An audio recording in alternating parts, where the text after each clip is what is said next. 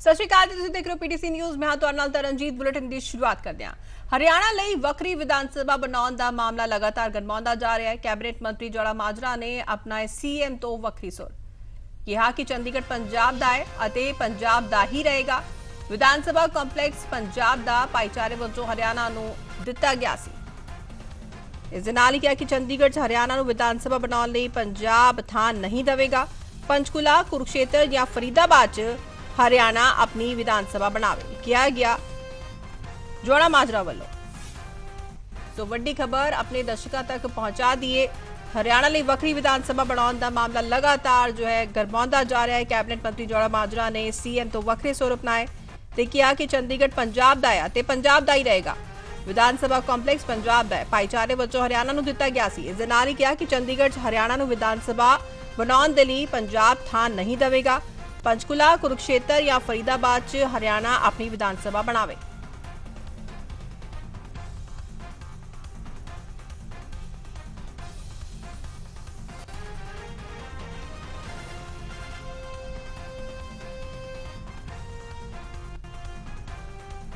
ਦੇਖੋ ਜੀ, ਚੰਡੀਗੜ੍ਹ ਹਮੇਸ਼ਾ ਪੰਜਾਬ ਦਾ।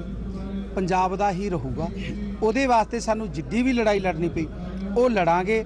ਕਿਉਂਕਿ ਹਰਿਆਣਾ ਪੰਜਾਬ ਚੋਂ ਗਿਆ ਸੋ ਉਹਨਾਂ ਦਾ ਕੋਈ ਹੱਕ ਨਹੀਂ ਬਣਦਾ। ਚੰਡੀਗੜ੍ਹ ਤਾਂ ਹੈ ਹੀ ਆਲਰੇਡੀ ਪੰਜਾਬ ਦਾ ਸੋ ਇਸ ਕਰਕੇ ਜਿਹੜੀ ਵਿਧਾਨ ਸਭਾ ਉਹ ਸਾਰੀ ਹੀ ਪੰਜਾਬ ਦੀ ਆ ਉਹ ਤਾਂ ਵੈਸੇ ਭਾਈਚਾਰਕ ਤੌਰ ਤੇ ਦਿੱਤੀ ਹੋਈ ਆ ਸੋ ਅਸੀਂ ਨਾ ਅਸੀਂ ਉੱਥੇ ਕੋਈ ਹੋਰ ਬਣਾਉਣ ਦੇਣਾ ਚੰਡੀਗੜ੍ਹ ਤੇ ਹੱਕ ਹਮੇਸ਼ਾ ਪੰਜਾਬ ਦੇ ਨਈ ਵਿਧਾਨ ਸਭਾ ਬਣਾਈ ਜਾਣੀ ਹੁਣ ਹਰਿਆਣਾ ਦੇ ਲਈ ਚੰਡੀਗੜ੍ਹ ਦੇ ਵਿੱਚ ਹੀ। ਚੰਡੀਗੜ੍ਹ 'ਚ ਦੇਖੋ ਜੀ ਅਹ, ਜੋ ਬਣਾਉਣਾ ਚਾਹੁੰਦੇ ਨੇ ਤਾਂ ਪੰਚਕੂਲੇ ਬਣਾ ਲੈਣ। ਹਰਿਆਣਾ 'ਚ ਬਣਾ ਲੈਣ, ਫਰੀਦਾਬਾਦ ਬਣਾ ਲੈਣ, ਕੁਰੂਕਸ਼ੇਤਰ ਜਿੱਥੇ ਮਰਜ਼ੀ ਬਣਾ ਲੈਣ, ਪਰ ਚੰਡੀਗੜ੍ਹ 'ਚ। ਉਧਰ ਮਤੇਵਾੜਾ ਜੰਗਲ ਨੂੰ ਬਚਾਉਣ ਦੇ ਲਈ ਲੋਕਾਂ ਦਾ ਧਰਨਾ ਲਗਾਤਾਰ ਜਾਰੀ ਹੈ। ਪਬਲਿਕ ਐਕਸ਼ਨ ਕਮੇਟੀ ਨੇ ਸਰਕਾਰ ਦੇ ਖਿਲਾਫ ਮੋਰਚਾ ਖੋਲ ਦਿੱਤਾ ਹੈ ਤੇ ਵੱਖ-ਵੱਖ ਜਥੇਬੰਦੀਆਂ ਨੇ ਸਤਲੁਜ ਦਰਿਆ ਦੇ ਬੰਦ ਤੇ ਧਰਨਾ ਲਗਾਇਆ। ਤੁਹਾਨੂੰ ਕਿ ਮਤੇਵਾੜਾ 'ਚ ਇੰਡਸਟਰੀਅਲ ਪਾਰਕ ਬਣਾਉਣ ਦਾ ਸਰਕਾਰ ਨੇ ਟੀਚਾ ਮਿਥਿਆ ਹੈ ਤੇ ਕਈ ਅਕਾਲੀ ਦਲ ਦੇ ਆਗੂ ਵੀ ਮੁਜ਼ਾਹਰੇ 'ਚ ਸ਼ਾਮਿਲ ਹੋਏ ਨੇ। ਮਸ਼ਿੰਦਰ ਗਰੇਵਾਲ ਨੇ ਕਿਹਾ ਕਿ ਸਰਕਾਰ ਫੈਸਲਾ ਵਾਪਸ ਲਵੇ, ਨਹੀਂ ਤਾਂ ਪੱਕਾ ਧਰਨਾ ਜੋ ਹੈ ਸਾਡੇ ਵੱਲੋਂ ਲਗਾਇਆ ਜਾਏਗਾ। ਦਰਸ਼ਕਾਂ ਤੱਕ ਵੱਡੀ ਖਬਰ ਪਹੁੰਚਾ ਦਈਏ। ਮਤੀਵਾੜਾ ਜੰਗਲ ਨੂੰ ਬਚਾਉਣ ਦੇ ਲਈ ਲੋਕਾਂ ਦਾ ਧਰਨਾ ਜਾਰੀ ਹੈ। ਪਬਲਿਕ ਐਕਸ਼ਨ ਕਮੇਟੀ ਨੇ ਸਰਕਾਰ ਦੇ ਖਿਲਾਫ ਮੋਰਚਾ ਖੋਲ ਦਿੱਤਾ ਹੈ। ਵੱਖ-ਵੱਖ ਜਥੇਬੰਦੀਆਂ ਨੇ ਸਤਲੁਜ ਦਰਿਆ ਦੇ ਬੰਦ ਤੇ ਧਰਨਾ ਲਗਾਇਆ। ਤੁਹਾਨੂੰ ਦੱਸ ਦਈਏ ਕਿ ਮਤੀਵਾੜਾ ਵਿੱਚ ਇੰਡਸਟਰੀਅਲ ਪਾਰਕ ਬਣਾਉਣ ਦਾ ਸਰਕਾਰ ਨੇ ਟੀਚਾ ਮਿਥਿਆ ਤੇ ਅਕਾਲੀ ਦਲ ਦੇ ਆਗੂ ਵੀ ਮੁਜ਼ਾਹਰੇ 'ਚ ਸ਼ਾਮਿਲ ਹੋਏ ਨੇ। ਮਹੇਸ਼ਿੰਦਰ ਗਰੇਵਾਲ ਨੇ ਕਿਹਾ ਕਿ ਸਰਕਾਰ ਫੈਸਲਾ ਵਾਪਸ ਲਵੇ, ਨਹੀਂ ਤਾਂ ਪੱਕਾ ਧਰਨਾ ਲਗਾਇਆ ਜਾਏਗਾ। ਮਤੇਵਾੜਾ ਜੰਗਲ ਨੂੰ ਬਚਾਉਣ ਦੇ ਲਈ ਲੋਕਾਂ ਦਾ ਧਰਨਾ ਜਾਰੀ ਹੈ। ਪਬਲਿਕ ਐਕਸ਼ਨ ਕਮੇਟੀ ਨੇ ਸਰਕਾਰ ਦੇ ਖਿਲਾਫ ਮੋਰਚਾ ਖੋਲ੍ਹਿਆ ਹੈ। ਵੱਖ-ਵੱਖ ਜਥੇਬੰਦੀਆਂ ਨੇ ਸਤਲੁਜ ਦਰਿਆ ਦੇ ਬੰਦ ਤੇ ਧਰਨਾ ਲਗਾਇਆ ਇਸ ਦੇ ਨਾਲ ਹੀ ਅਕਾਲੀ ਦਲ ਦੇ ਆਗੂ ਵੀ ਮੁਜ਼ਾਹਰੇ 'ਚ ਸ਼ਾਮਿਲ ਹੋਏ ਨੇ।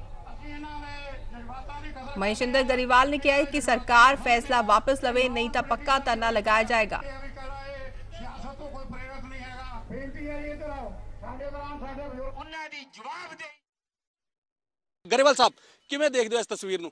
ਇੱਕ ਵੱਡਾ ਮੋਰਚਾ ਲੱਗਿਆ ਆਮ ਆਦਮੀ ਪਾਰਟੀ ਸਰਕਾਰ ਦੇ ਖਿਲਾਫ ਔਰ ਲਗਾਤਾਰ ਲੋਕ ਗੁਹਾਰ ਲਾ ਰਹੇ ਨੇ, ਕਿਸਾਨ ਜਥੇਬੰਦੀਆਂ ਵੀ ਜੁਟ ਰਹੀਆਂ ਨੇ। ਇਹੀ ਆਖ ਰਹੀਆਂ ਨੇ ਕਿ ਇੱਥੇ ਇੰਡਸਟਰੀ ਨਹੀਂ ਲੱਗਣੀ ਚਾਹੀਦੀ। ਦੇਖੋ, ਮੈਂ ਤਾਂ ਇੱਥੇ ਬੇਨਤੀ ਕਰੂੰਗਾ ਕਿ ਆਮ ਆਦਮੀ ਪਾਰਟੀ ਨੂੰ ਵੀ ਇਸ ਜੰਗ 'ਚ ਸ਼ਾਮਲ ਹੋਣਾ ਚਾਹੀਦਾ ਕਿਉਂਕਿ ਲੋਕਾਂ ਨੇ ਉਹਨਾਂ ਨੂੰ ਬਹੁਤ ਵੱਡਾ ਫਤਵਾ ਦਿੱਤਾ ਤੇ ਪੰਜਾਬ ਦੇ ਹਿੱਤ ਲਈ ਦਿੱਤਾ ਪਰ ਜੋ ਫਤਵੇ ਦੀ ਉਲੰਘਣਾ ਕਰਕੇ ਪੰਜਾਬ ਨੂੰ ਵਸਾਉਣ ਦੀ ਥਾਂ, ਪੰਜਾਬ ਨੂੰ ਸਾਫ਼ ਸੁਥਰਾ ਰੱਖਣ ਦੀ ਥਾਂ, ਪੰਜਾਬ ਨੂੰ ਸਵੱਛ ਰੱਖਣ ਦੀ ਥਾਂ, ਪੰਜਾਬ ਨੂੰ ਪੋਲਿਊਸ਼ਨ 'ਚ ਲਿਜਾਣਗੇ। ਸਰਕਾਰ ਕਿਸੇ ਦਾ ਵਿਰੋਧ ਨਹੀਂ, ਉਹਨਾਂ ਦੇ ਫੈਸਲੇ ਦਾ ਵਿਰੋਧ ਆ। ਸਰਕਾਰ ਦੇ ਹਿੱਤ 'ਚ ਲੋਕਾਂ ਦਾ ਫੈਸਲਾ, ਅਸੀਂ ਸਰਕਾਰ ਦਾ ਵਿਰੋਧ ਨਹੀਂ ਕਰ ਰਹੇ, ਅਸੀਂ ਉਹਨਾਂ ਦੇ ਫੈਸਲੇ ਦਾ ਵਿਰੋਧ ਕਰ ਰਹੇ, ਜਿਹਦੇ ਨਾਲ ਉਹ ਇੱਥੇ ਇੰਡਸਟਰੀ ਲਾਉਣਾ ਚਾਹੁੰਦੇ ਆ। ਅਸੀਂ ਉਮੀਦ ਰੱਖਦੇ ਹਾਂ ਕਿ ਪਰਮਾਤਮਾ ਉਹਨਾਂ ਨੂੰ ਸਮੱਤ ਦੇਊਗਾ, ਕਿਉਂਕਿ ਮੈਂ 1997 ਵਿੱਚ ਵਾਤਾਵਰਣ ਦਾ ਮੰਤਰੀ ਸੀ। ਮੈਂ ਉਦੋਂ ਇਹ ਥਾਂ ਵਿਜ਼ਿਟ ਕੀਤੀ ਤੇ ਪ੍ਰਪੋਜ਼ਲ ਦਿੱਤੀ ਅਸੀਂ ਕਿ ਇਹਨੂੰ ਇੱਕ ਸੈਰਗਾ ਬਣਾਇਆ ਜਾਵੇ।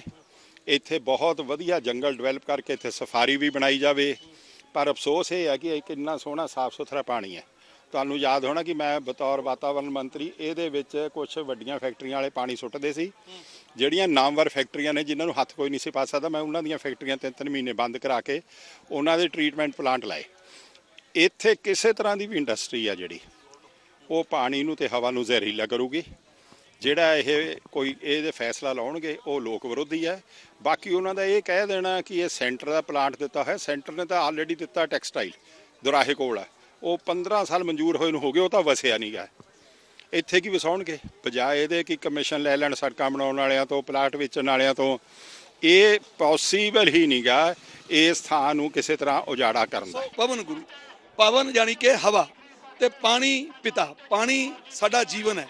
ਸੋ ਇਹ ਦੋਏ ਚੀਜ਼ਾਂ ਨੂੰ ਜੇਕਰ ਉਹ ਗੰਧਲਾ ਕਰਨਗੇ ਤੇ ਇੱਥੇ ਲੋਕ ਤੁਹਾਨੂੰ ਇਵੇਂ ਖੜੇ ਮਿਲਣਗੇ, ਜਿਵੇਂ ਐਜੀਟੇਸ਼ਨ ਇੱਕ ਦਿੱਲੀ ਲੜੀ ਹੈ ਸਿੰਘੂ ਬਾਰਡਰ ਤੇ, ਉਹ ਬੀਜੇਪੀ ਸਰਕਾਰ ਦੇ ਖਿਲਾਫ, ਇਵੇਂ ਹੀ ਇੱਕ ਐਜੀਟੇਸ਼ਨ ਹੁਣ ਜਿਹੜੀ ਹੈ, ਉਹ ਪੰਜਾਬ ਸਰਕਾਰ ਦੇ ਖਿਲਾਫ, ਇਸ ਭਗਵੰਤ ਮਾਨ ਸਰਕਾਰ ਦੇ ਖਿਲਾਫ ਆ ਦੇਖੋ ਤੁਹਾਡੇ ਸਾਹਮਣੇ ਸ਼ੁਰੂ ਹੋ ਗਈ ਹੈ।